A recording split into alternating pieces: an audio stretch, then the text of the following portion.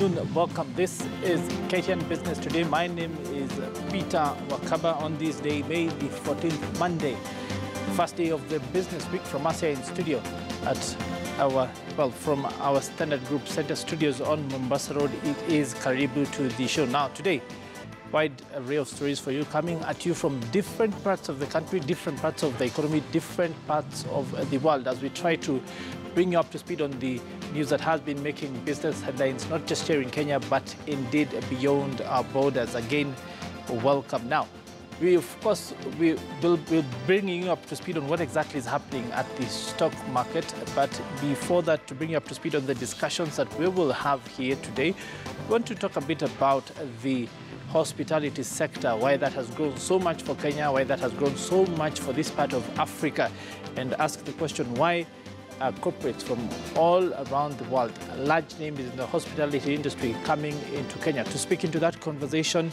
well, a gentleman who is the general manager of Movenpick. It is a big name in hospitality.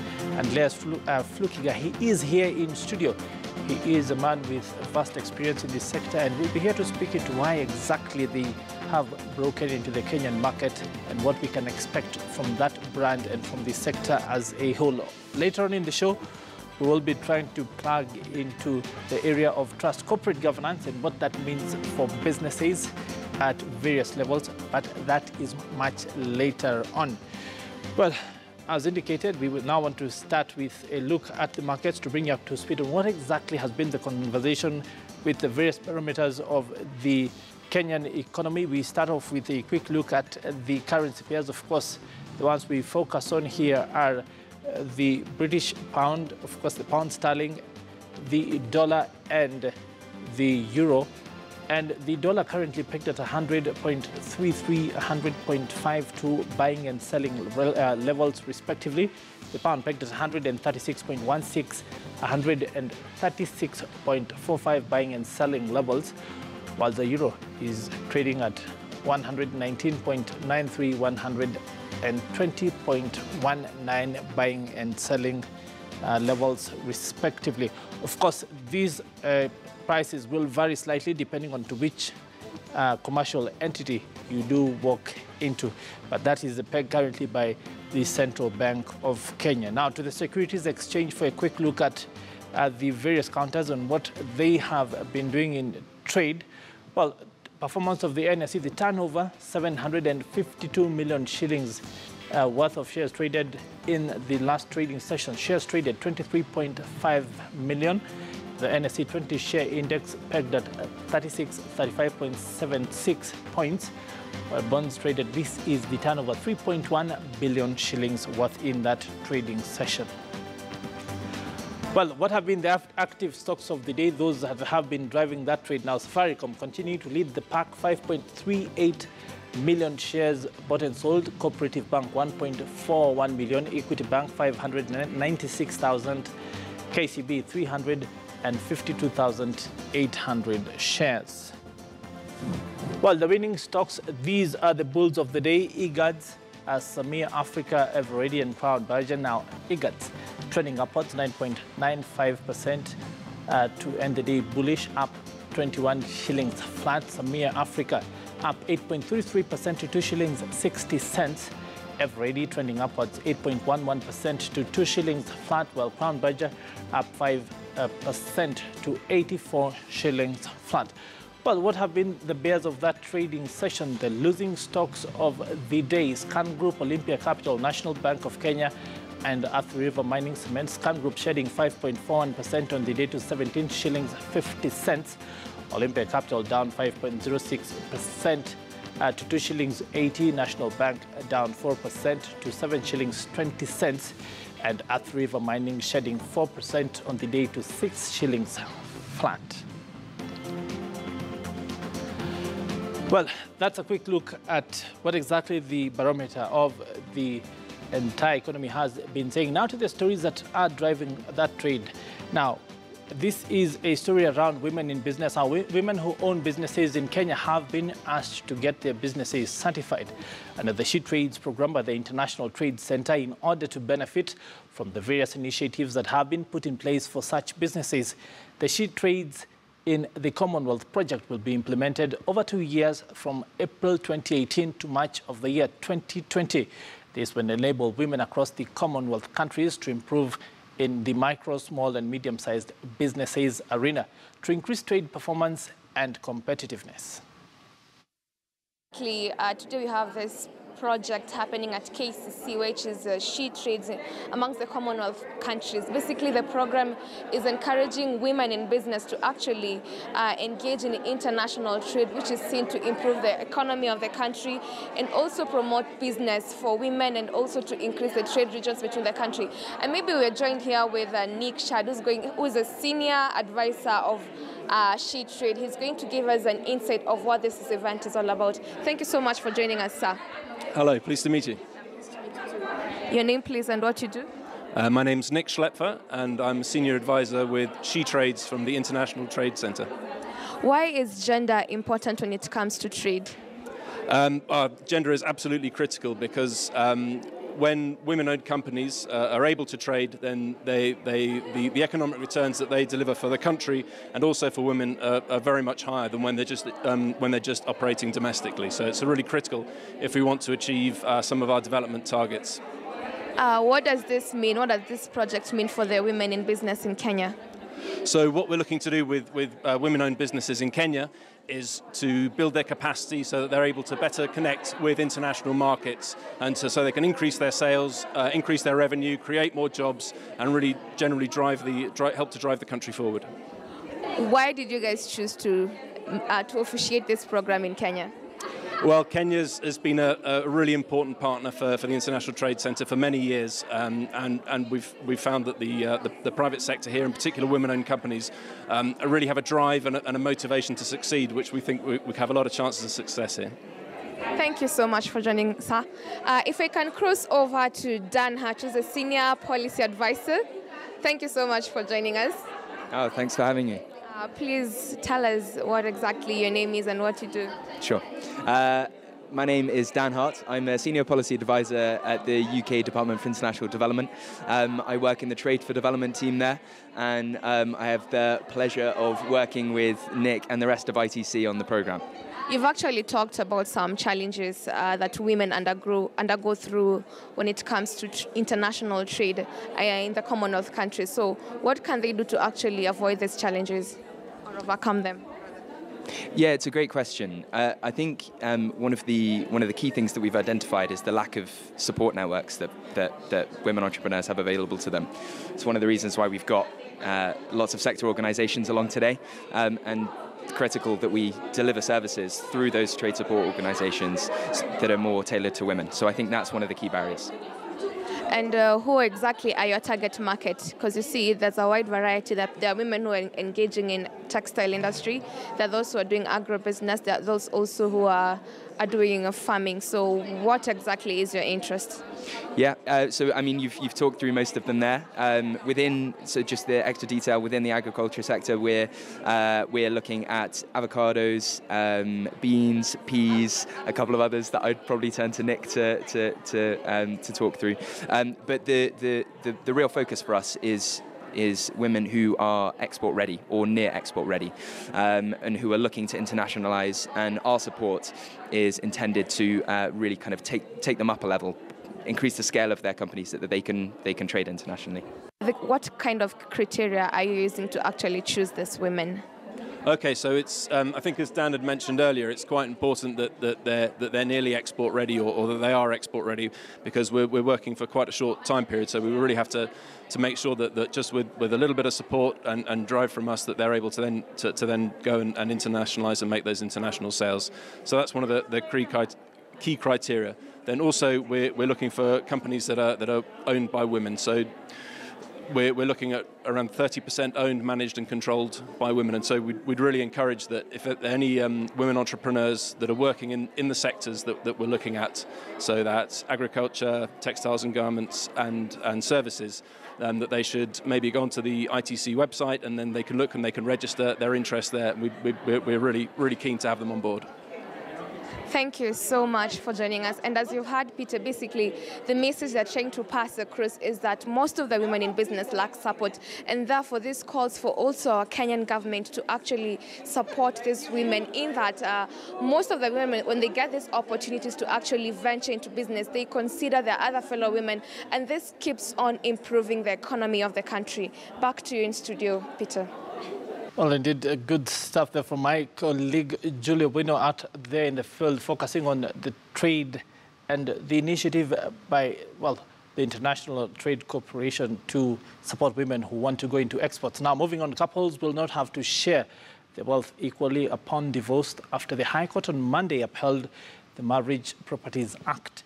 Now, in a landmark ruling, Justice John Mativo rejected the Federation of Kenya Women Lawyers FIDA's application for the uh, repeal of sections 45, 3 of the Act that states that couples should get what they contribute. Now, the judge noted that one could not walk into a marriage and walk away without uh, with more than they deserve. The case generated public interest given the kind of debate the law generated when it was first introduced in Parliament in the year 2013. I also find that the bill section does not contradict Section 6 of the Act, which provides for liabilities incurred during marriage to be shared equally. The provision was meant to curb situations where one party to a marriage would be left to settle debts incurred during the substance of the marriage. Further, the assertion that the section infringes on uh, the right to property cannot succeed. First, the Act recognizes monetary and non-monetary contribution, which is, which is clearly defined by providing that a party walks out with his or her entitlement based on his or her contribution, the section entrenches the principle of equality in marriage. It is my conclusion that the bill section does not offend any of the provisions of the Constitution as alleged, nor does the section contradict any of the provisions of the Act. Having so concluded, I find it odd that the petitioner does not qualify for any of the relief sought in this petition. Now, in the wake of weak demand and weak market access for Kenyan products abroad, the Export Promotion Council is seeking to capitalize on the future opportunities. This became apparent at the official signing of the Dubai 2020 Expo Participation Contract earlier today. Take a look. We need you to spearhead this and ensure that uh, we are able to participate fully and appreciate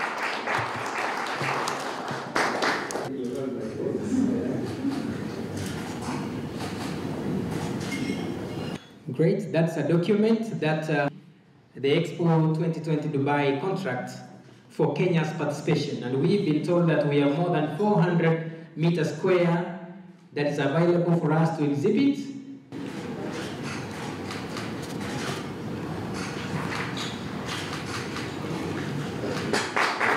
Thank you. While there, I really pitched for Kenya's participation, and I confirmed that Kenya is going to participate in a big way. And I insisted on seeing our pavilion.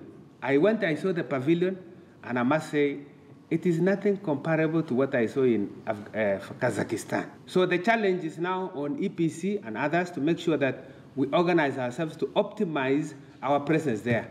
I think starting now, where we encourage our SMEs to take advantage of the opportunities provided as we as Dubai prepares. Set out there for SMEs to be able to start getting ready for the expo and have ready contacts, ready products ready to show the world. Now, before the advent of digital cameras, folks used analog equipment that had film that used to take weeks to develop. But as much of the world knows, the advent of the mobile phone disrupted that industry, putting a camera in almost everybody's hands and rendering photographers nearly jobless. Tobias Chanji has more on that story on this week's episode of the Throwback in Business. Take a look. There were days when the camera was a king, and those who owned one or were professional photographers were the talk of town. They were often strategically located, and using one was quite a process. Joseph Maunda is one of the photographers of old who used such a camera. He narrates to us how the camera was used. Ukifunguka hii film kuna vile ulikuwa unatoa hapa, ilikuwa already ukinunua, ilikuwa kitu imetoka hapa mpaka kitu. Sasa ile film yenyewe hii ni suni, tuseme ni kama ni nguo yake, ile film yenyewe ile ya ndani unafuta hivi hapa, unaiweka hivi unaweka hapa ndani hivyo, na hiyo film, unakuja unalinganisha hizi meno ziko hapa, unaziona hapa, shimo hapa, na unapiga hapa hivyo, unaifuta na squeeze, unaifuta sasa, unaingia sasa. Ikiingia unafunga hapa hivyo, kwa hivyo ukifunga unapiga picha kama mbili, ndio hiyo film. Ukikosa kupiga picha kama mbili ama moja, hiyo picha umepiga, au ukipiga mtu picha, hiyo picha itakuwa iko imeungua, kwa sababu sasa imeona mwangaza wewe. Sasa kupiga picha, hizi kamera zilikuwa ziko na kitu ilikuwa inaitwa eh, inaitwa speed. Speed ndio hii unaiona hapa, ziko na numbers ziko hapa. Photographers were the celebrities of the time and were held in high esteem due to this rare service. Wakati huo Photoman alikuwa anachukuliwa kama mtu mkubwa, alikuwa anachukuliwa kama yani mtu wa heshima sana. Kwanza hata ulikuwa unangojewa, ukifika kameramani amefika, unapewa kama ni kiti lakini ulikuwa ukai, ulikuwa unaonekana kama mtu wa kueleweka. Wakati huo ulikuwa unaeleweka. Picha ya zamani ilikuwa ni ya raha sana. Naona photoman akifika nyumbani anangojewa na furaha. And no one could pose for a photo without being arranged or properly positioned by the photographer or try out various poses for this a great occasion and sometimes a one in a lifetime opportunity. The photo date was even marked on calendars just as it is with holidays. Eh, sales ilikuwa mingi, sales kwa mingi. Kuna vile kama watu ni wengi, ulikuwa unawapanga panga, unarudi nyuma uki, uki, ukiangalia kwa kamera, ukiona wajaingia kwa hii frame ya hapa, unarudi tena unawapanga vizuri, wanaingiana kwa hii frame ya kuchungulia hapa. Na sales ilikuwa mingi, sales kwa mingi, hata ya kukata maua unashikilia. Za za mbeleni ilikuwa mkienda kwa studio ama photoman amefika, mnaenda lazima mjifundishe kusimama, ushike vitu, mastyle, alafu muna muna munahesabiwa muna, munahesabiwa one, two, three. Before the advent of colored photography, all picture were black and white. These were characterized by black, gray and white colors.